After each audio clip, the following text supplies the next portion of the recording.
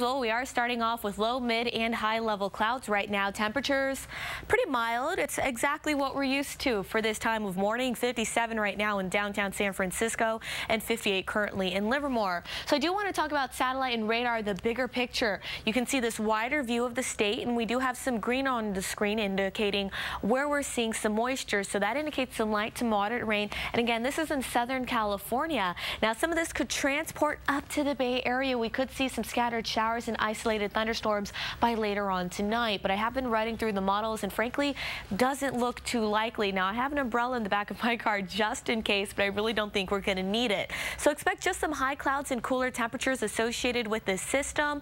Uh, looks like we could see some showers as far south as Monterey County and as far south as uh, the eastern Sierra. But I really don't think we're going to see any raindrops here in the Bay Area, but just expect cooler weather and high clouds for the next couple of days. Now, Futurecast 4 tracking the temperatures for you, and you'll notice 60s, that slice of green on your screen by 12 p.m. today, 70s for the East Bay shoreline and the peninsula, 80s for the inland East Bay spots. And as we put the clock into motion, you'll notice the red sticks well out of our area, so don't bank on any 90s.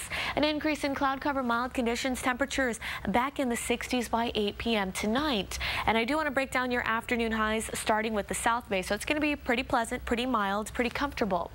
Evergreen 85, 81 in Santa Clara. Again, mostly sunny skies in the East Bay with Pittsburg at 88 degrees. 84 for Fairfield, those 70s expected in Vallejo. Downtown San Francisco about 10 degrees cooler at 63 degrees and 77 your high in Napa.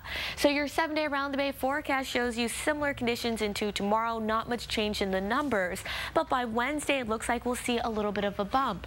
Thursday we are back in the 90s for the warmest inland spots and we will continue continue with that summer-like pattern as we transition into the weekend.